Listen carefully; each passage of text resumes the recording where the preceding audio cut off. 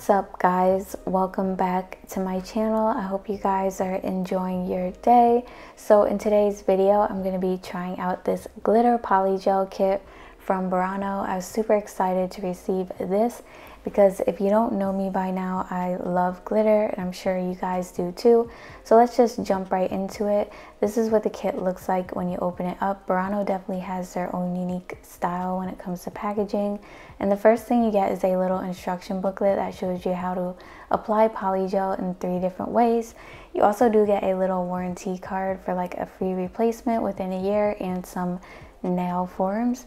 You also get a set of butterfly glitters um, that are perfect for the spring and summer. There's 12 different little butterflies like holographic and iridescent ones in all different colors so they're super cute.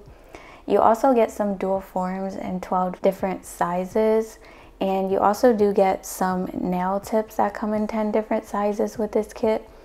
So the really cool thing about um, this is that you can apply the polygel in three different ways. Like I said, you can apply it with the dual forms, nail forms, or the nail tips.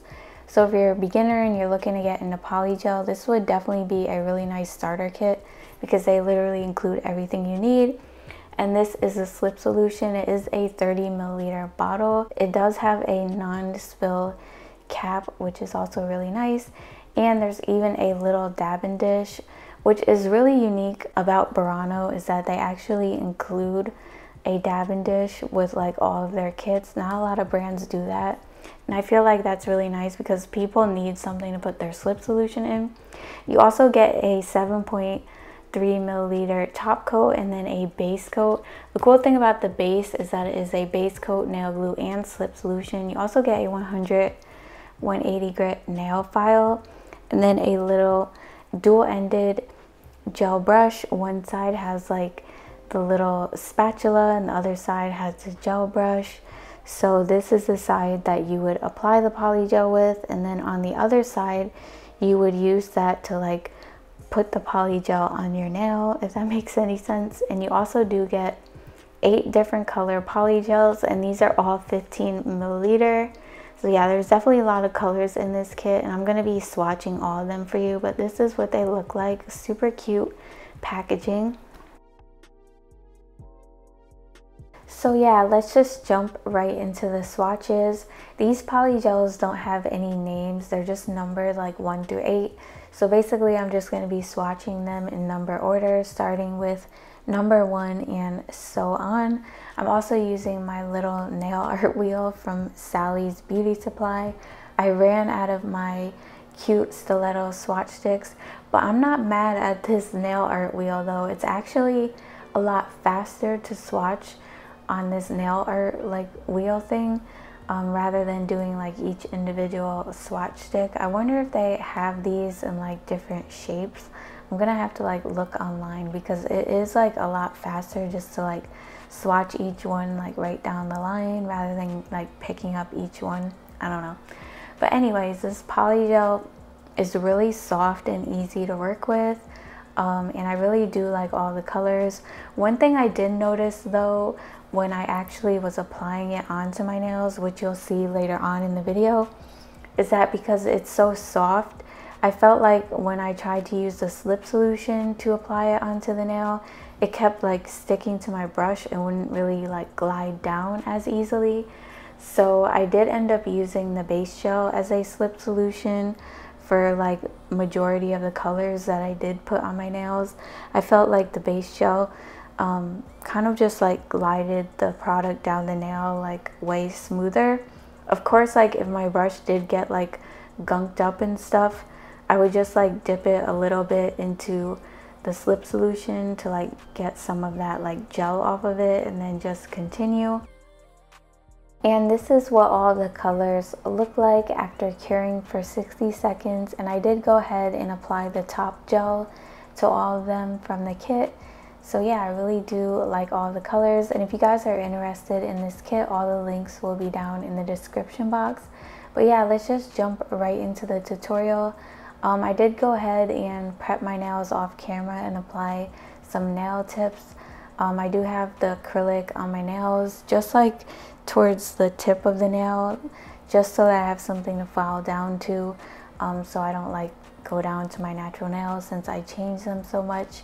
So I did go in with a layer of dehydrator and two coats of primer. I'm using Mia Secret as always and Young Nails Protein Bond. Now I'm going in with a layer of the base gel from the kit. This is going to um, give the poly gel something to grip onto and also protect your natural nails from staining. So you definitely want to apply that base gel and I'm gonna cure that for 60 seconds. By the way, links to everything that I use um, are down below if you click my Amazon store, like my nail tips, my nail files, like my dehydrator primer, like pretty much everything I use for nail prep or whatever else I'm using is pretty much in my Amazon store. So now I'm going to be going in with these nail decals. I got these off of Etsy last year and I was looking for them a while ago on the computer but I couldn't really find them and I don't remember who the seller was um, because it doesn't really say on them so sorry about that but these are actually made for shorter nails um, but I still wanted to use them. The theme was kind of like bad doll theme as you can see the Barbie was on there but I kind of already did Barbie nails so I didn't really want to do another Barbie set. Um, so I just decided to use like the little money like decals um, and just do like a money set because I haven't really done that on my channel surprisingly. So yeah I'm kind of late to the trend but it's all good um, so yeah I'm just doing my own little version of it and since these are shorter decals. I'm just like cutting out the pieces I want to use um, and just placing them in water. You really don't need to leave them in the water for that long. Um, maybe like 20 seconds and then literally they're good to go. You just want to take them out with like some tweezers and place them on a paper towel um, to get some of that excess water off. Then I do go in with a base gel on the nails that I'm going to be applying the decals to um, and just placing the nails into the gel. Um, they stay on the nails a lot better that way.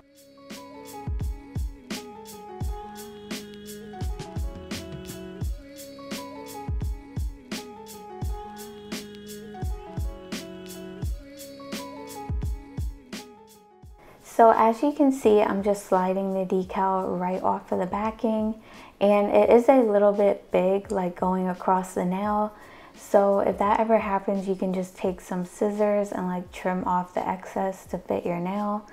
Um, you know, they never fit like too perfectly or whatever. So yeah, I just trimmed off the excess. You don't have to worry about getting it like right close to the nail or anything like that because when you do file in the end, it's gonna come off like either way. So don't like spend too much time trying to get the cut like too perfect because it can always get filed off in the end. And now I'm taking like little pieces of like the Louis Vuitton print and placing those on the nail along with like more of the little pink money.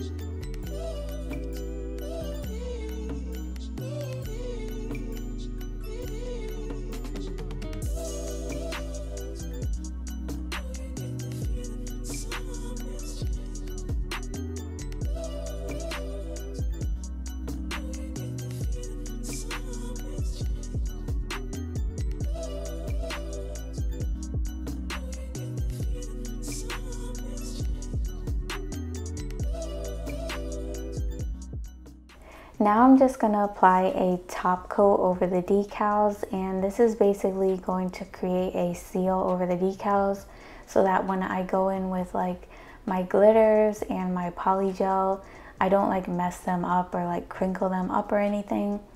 So yeah, I always do that and then just go over them with my glitters just to be on the safe side because you don't want to spend all that time applying your decals and then like you go to brush like over them and then like take off the color or like make a little dent in them or something like that because that can happen. So yeah, I'm using shade number four, which is that fine like purple glitter and as you can see when I went to start like patting the poly gel in um, it started to like stick to my brush and wouldn't really glide across the nail like I wanted it to so I applied a little bit of the base gel on top of it and then it just went on really smoothly. So yeah basically I'm applying that color like in between the empty spaces and I did brush a little bit too much over the tip so I'm removing some of that. And no I don't recommend using your finger to do that but it doesn't really bother me so I don't care. But yeah you might want to use something else but that was all I had and I didn't really want to get like a paper towel because it was too far away and I was being lazy. But yeah anyways I decided to use some of the rose gold butterflies. And then later on I do end up using some of the pink iridescent ones. But these butterflies are so pretty. And for some reason these nails are giving me like a 90s vibe in a way. I don't know why but yeah they kind of do. I feel like everything I do ends up giving me that 90s vibe. But that's okay because I'm here for it. I'm a 90s baby all day every day so it will never get old and now um, I'm going in with the pink shade, which is number two, and I'm applying that to the nail bed on the ring finger. And I'm basically going to be fading that down into like the little money thing, kind of like an ombre. At first, I was going to go in with the purple glitter on this nail, but I accidentally picked up the wrong color. But I actually do like the way it turned out it was a good save. Um, so yeah, I actually did like the way they turned out and I decided to just use these two colors on the entire set. I'm also going in with some of the glitter at the tip of the nail and along the side, basically filling in all the empty areas and adding more butterflies. Then I'm gonna go ahead and cure in my lamp.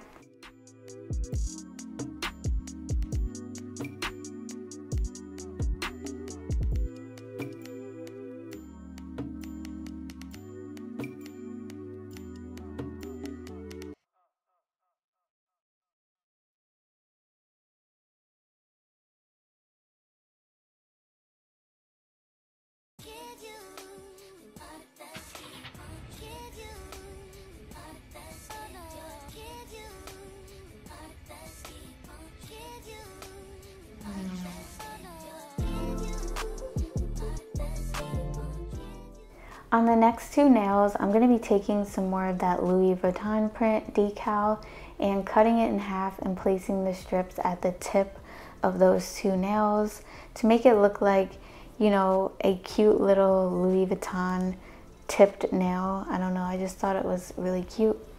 And on the middle finger, I'm going to be applying that pink shade and kind of like fading it into the tip so majority of the nail is pink with like the little print at the tip of the nail.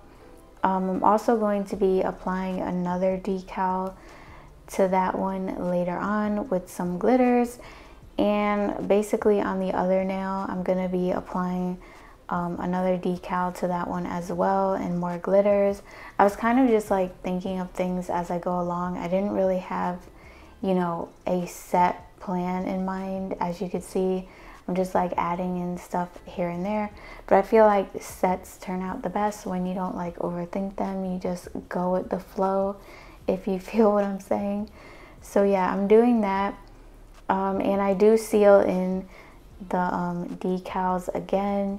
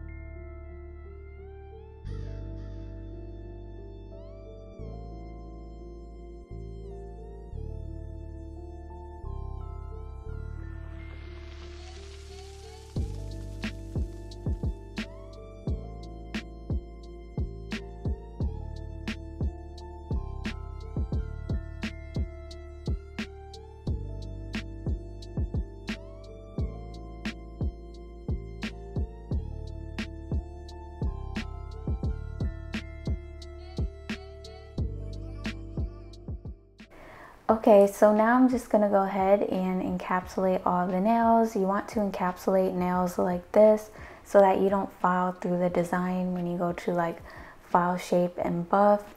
Plus the nails are pretty thin, so I'm using the clear to build up the structure. Basically, I just squeeze the amount of polygel I need onto the nail. I'm pretty good at eyeballing it. You can apply it with a spatula on the other end of the brush, but I just prefer to do it this way. It's like way easier. Um, and I always start by the cuticle when I'm applying polygel and just work side to side down the nail. Um, and that pretty much gives you a really nice apex as long as you squeeze out the right amount of product and you squeeze out enough. Um, you can always go in with a second layer if you don't feel like using so much polygel at one time. This one I did have to use the base gel with as well. It just worked a lot easier with the clear and I was only doing like two nails at a time because this was really soft and it seemed like it was going to run into the cuticle a little bit so to prevent that I kind of just like did a little flash cure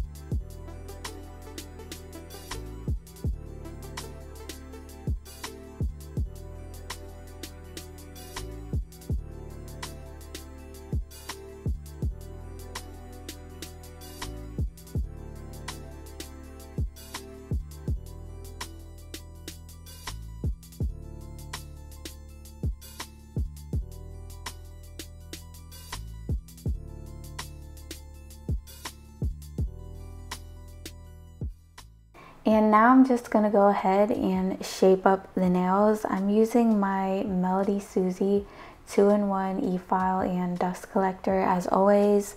I really like this dust collector and e-file if you haven't noticed since I've been using it like literally every video. I'm also using it with a medium grit ceramic safety bit.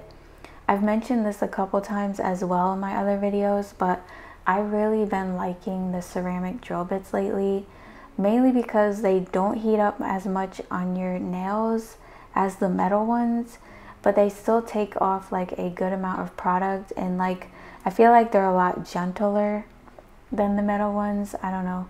And they are a lot easier to clean. Like they don't get like um, kind of like faded like the other ones where the color fades off of it. I really hate that. So yeah, if you guys haven't tried ceramic drill bits yet, you're definitely sleep. You gotta get on the ceramic drill bits. I'm telling you, it's a game changer. Um, so some of the drill bits I use are linked in my Amazon store, so check that out if you're interested.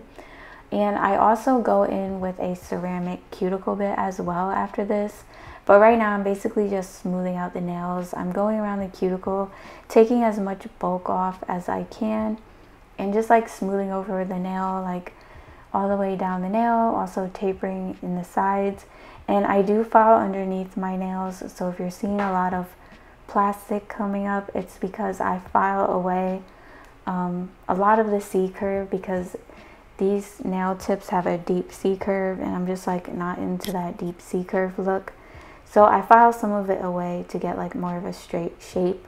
That's just my preferred preference so if you're wondering why my nails look different than the nail tips that I use, that's why, because I kind of like customize them to make them, you know, to my liking. And now I'm going in with my cuticle bit on a low speed just to clean around the cuticle and seal around the cuticle.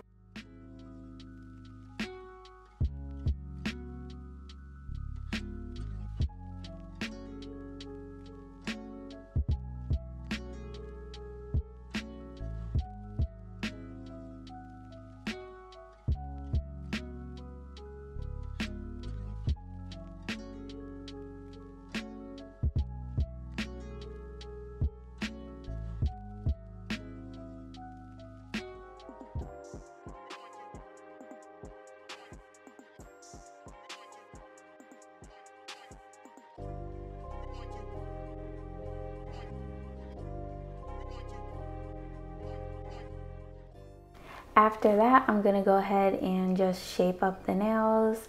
I'm doing a long, like tapered square shape. So I'm holding my file super straight and filing on each side like an even number of times. And then I slightly like angle my file in to file the tip in a little bit and make it more narrow um, rather than wide. Um, but I go in straight with my hand file first to kind of like get a lot of that bulk out of the middle of the nail so it's not like real wide there. Um, also like filing underneath the nail with the hand file to get like some more of that plastic off that I filed. Sometimes a little bit gets left behind and then I'm just gonna buff over the nails and smooth them out.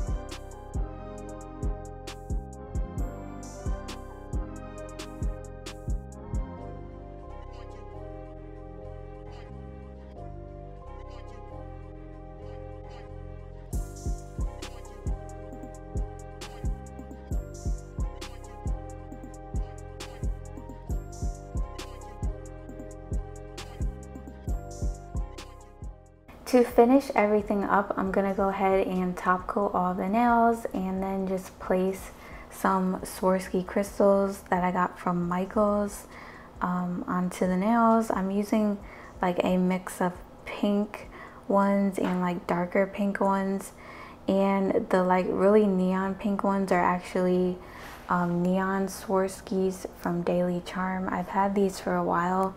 Um, I think Swarovskis have been discontinued. I'm not really sure if that's taken effect yet. But yeah, I guess they're being replaced with some other kind of stone. But yeah, I've had these for like ever. I'm just sticking them into the gel because literally I'm not keeping them on for that long and I'm just gonna like take them off and put them back. But yeah, if you're using Swarovskis or any other kind of expensive stones, you wanna make sure you're using like a really good bling gel for that. Don't just place them into the top coat because it does last a little while, but eventually they'll just like pop off because there's nothing really to like hold them, if you know what I mean. Whereas a bling gel, it's real thick and like, you know, they're in that gel once you cure them. Top coat is a lot thinner, if I'm making any sense.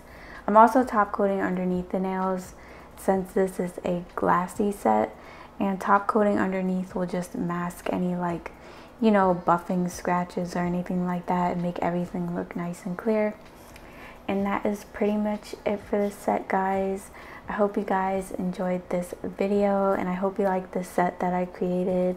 As always, let me know what you think in the comments. I really like hearing what you guys think about my sets. And if you're new to my channel, make sure you subscribe so you don't miss out on any videos. I post reviews and tutorials every week. Also, if you're not following me on Instagram, make sure you do that because I usually post about my upcoming tutorials on there. And yeah, I will see you guys in my next one. Bye. Love you guys.